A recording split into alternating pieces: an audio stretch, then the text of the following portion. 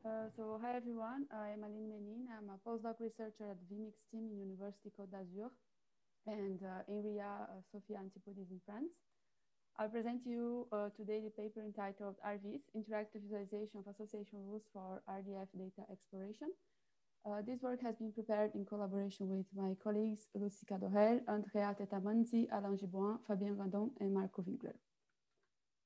From the beginning of the pandemic, scientists from around the world joined efforts to understand and fight the COVID-19 infection, which resulted in an enormous amount of scholarly articles that researchers in biomedicine need to explore to understand, for instance, whether there is a connection between the new coronavirus and cancers.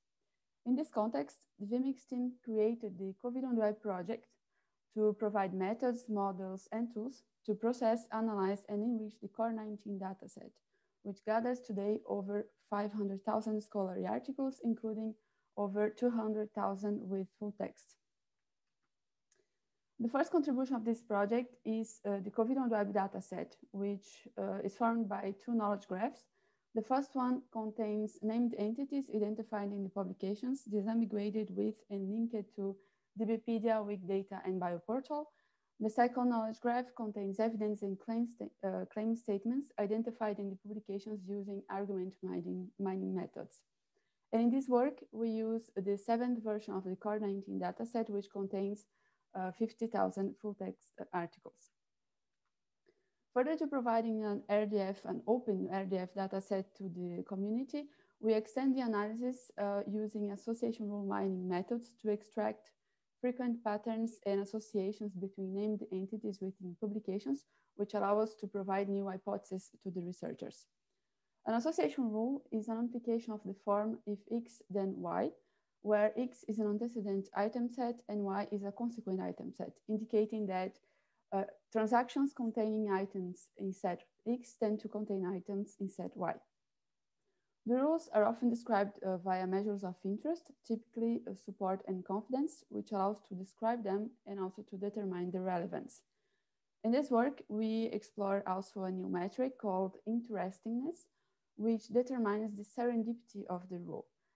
It serves to penalize the rules or the named entities with high incidence in the dataset. We also explore the symmetry of rules, uh, which defines whether, whether uh, a rule works inversely, that is uh, whether there is another rule where the antecedent is the consequent and vice versa. To, uh, to extract the association rules, we use the named entities knowledge graph from the COVID on web dataset, and particularly we focus on the named entities linked to Wikidata. The mining process will define then transactions as publications and item sets as named entities, and uses four clustering approaches, uh, namely no clustering, uh, clustering of items, clustering of transactions, and a combination, combination of both to find uh, interesting set of, of rules. These resulting sets of rules undergo a filtering process based on redundancy, minimal confidence, and interestingness. And after the filtering, we have then a set of 700, uh, uh 772 rules uh, represented in a tabular manner where uh, rows represent the rules and columns represent the antecedent and consequent item sets, the measures of interest, and the cluster uh, to which the rule belongs. Visualizations are widely used to support exploration of association rules, typically via scatter plots or matrices, which provides overview of rules but fail to represent the relationship between antecedent and consequent items, uh, direct graphs uh, represent rules and items as nodes connected by line segments, but they can become quickly cluttered as the number of rules increase. Some previous approaches also use circular and association graphs, which allows for a clearer representation of data. But we observed that um, these, uh, these approaches normally did not uh, represent measures of interest. Further, we identified a set of tasks normally performed when exploring association rules such as providing an overview of rules, identify interesting rules and the relationship between items, comparing the rules and providing details on demand, such as the source of the data. And we observed that none of the previous tools support all of these tasks. So we proposed ARViz. ARViz is a tool for visualizing association rules that support the resolution of domain-related tasks by combining three complementary visualization techniques. So it supports tasks based on items, allowing uh, the user to find and describe rules involving a particular item, and uh, based on rules, uh, allowing users to explore uh, distinguishable association rules in the dataset and to identify the ones that are worth saving for knowledge acquisition. For that, we use three synchronized views, a scatter plot, uh, a chord diagram, and an association graph. And to maximize uh, to maximize the screen space, we use a tab-based layout uh, with a visualization under each tab. And we use three uh, discrete buttons that allow the user to uh, show the legend, the color legend, the filtering and sorting panels according to, to their needs. The scatter plots display uh, gives the distribution of rules as diamonds over confidence and interesting uh, measures. We use uh, the size of the diamond to represent uh, the number of the rules for each pair of confidence and interesting values.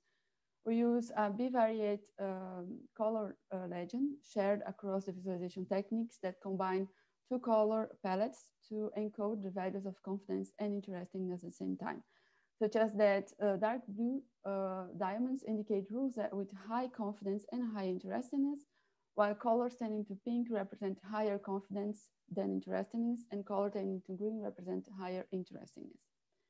Further, um, in this visualization, each diamond contains a context menu that allows the user to explore the subsets of, of data uh, uh, using the circular paginated view of subsets. The circular paginate view of subsets uh, allows to explore subsets of rules and to solve rule-based tasks. We use a chord diagram where uh, ribbons represent rules uh, connecting items. Uh, we added an arrowhead uh, uh, to each ribbon to identify the consequent item of the rule. And the user can define the size of the subsets that they want to explore here using this form under the chart and then navigate through subsets of the indicated size. We can go up to 150 rules without cluttering the visualization by using uh, interaction to highlight rules of interest. Uh, the user can also click on a rule to recover a list of publication uh, from the dataset that contains uh, the named entities involved uh, in that rule. And we can also uh, explore the rules involving a certain item by right-clicking on the arc represented item and then exploring it uh, with the association, uh, the exploratory graph view of items. Uh, the exploratory graph view of items support the resolution of item-based tasks. It shows uh, the list of antecedent items uh, in the left side of the screen and consequent items in the right side of, of the screen. The user can then select an item of interest, such as multiple sclerosis, and that will, uh, the system then will show the association rules in the form of uh, diamonds in the center of the screen. And it will also highlight the other items that are uh, involved on those rules. Similarly to the uh, circular view, we can click on a, on a diamond and that will uh, show the list of associated publications and also detailed information describing the measures of interest uh, of that role. Further, uh, the user can use the search bars of antecedent and consequent uh, items to, to look for uh, an item of interest.